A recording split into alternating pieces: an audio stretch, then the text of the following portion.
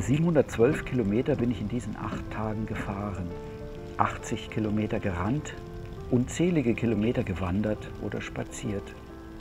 Und gerade weil ich sämtliche Eventscheunen und Ritterturniere gemieden und stattdessen nach Bratkartoffeln, Big Bonsais und gereimten Versen für Jubilare in der Tagespresse Ausschau gehalten habe, war vielleicht auch ich auf einer Art Seelenpfad unterwegs.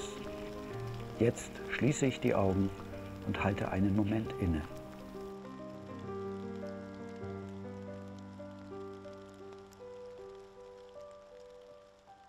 Als ich die Anfrage bekam, ob ich ein Stipendium namens Oldenburger Landgang äh, antreten wollen würde, dann habe ich auch zuerst mal gedacht, also Oldenburger Land, wenn man dann aber den Gedanken sacken lässt, dann merkt man, welche Arroganz man vielleicht implizit immer auch mitgetragen hat, weil man immer nur in die Ferne wollte und da das ganz andere sucht.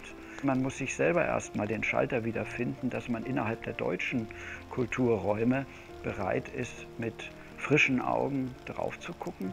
Deswegen habe ich auch gerne zugesagt. Also von der Ausschreibung des Stipendiums äh, wird man eingeladen, acht Tage hier zu verbringen und zurückzukehren auf eine ebenso lange Lesereise. Vorbereitet habe ich mich, äh, indem ich mir gewünscht habe, möglichst wenig vorab wissen, weil dann habe ich noch den offenen Blick.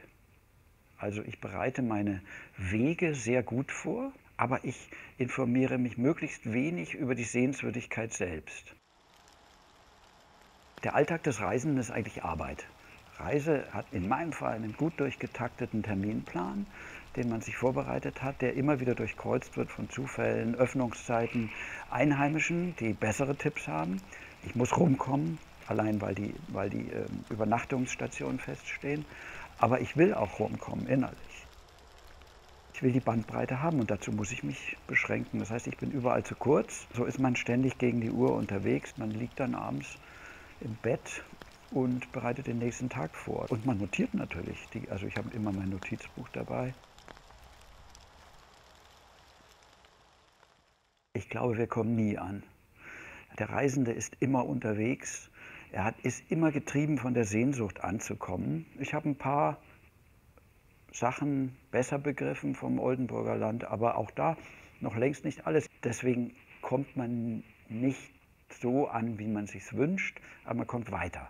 Immerhin.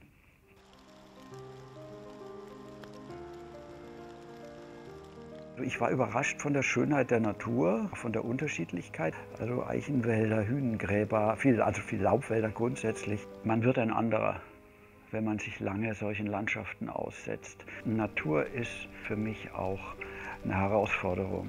Äh, nicht unbedingt im Oldenburger Land, würde ich mal sagen, aber das muss man bei Natur mit berücksichtigen. Land ist nicht gleich Land, Provinz ist nicht gleich Provinz, Kleinstadt nicht Kleinstadt. Ich bin jetzt nicht von jeder Gemeinde und jeder Kleinstadt begeistert. Aber man findet mehr, als ich gehofft habe. Ich habe äh, persönlich mitgenommen, zum Teil, wie einsam man sein kann, mitten in Deutschland. Hier hat keiner auch nur irgendwie fünf Pfennig Interesse daran gehabt, was ich mache.